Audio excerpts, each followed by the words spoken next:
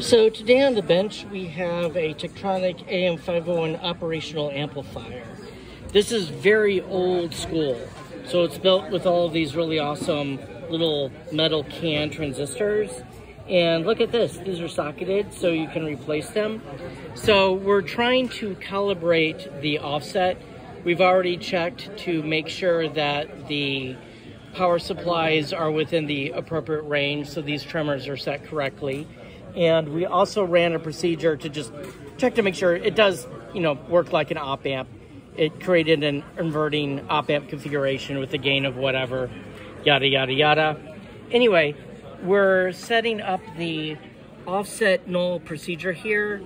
So we don't have an 800 ohm resistor handy, so I used 820, but I figure that should be close enough for what we're doing. This 1K resistor and then a jumper. So those are all placed in the appropriate spots here. And when we look at the offset, it's all over the place. And when I adjust the pot, let me try to adjust the pot here. Okay, so I'm lowering it. But now it's shooting down in the negative direction. So I go, okay, let me try increasing it.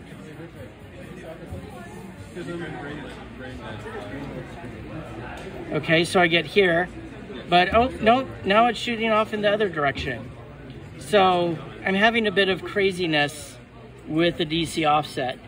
If anyone is familiar with Tektronix equipment and has a suggestion of what I should be checking out next to figure out this weird mystery of the DC offset, see?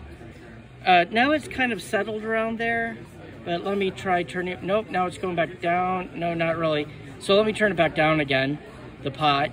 Turning down the pot, turning down. Oh, but see, now it's shooting off the negative direction. I can't get this to settle down. It's always going too far one direction or the other. So there's also the possibility that we don't have the various resistors here set correctly, but we think we do.